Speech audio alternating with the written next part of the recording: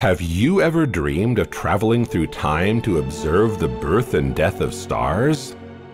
If so, the good news is that these stages are visible from Earth. To see what our sun will look like in its old age, let's go to the constellation of Orion.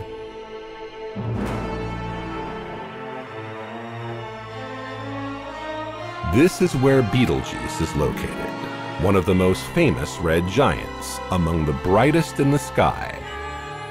Although scientists are not sure of its distance, they estimate that it is about 500 light years from Earth. Far enough away not to worry us, but close enough to be observed. And for good reason. Its radius would be about 1,000 times larger than that of the Sun making Betelgeuse one of the largest stars ever discovered.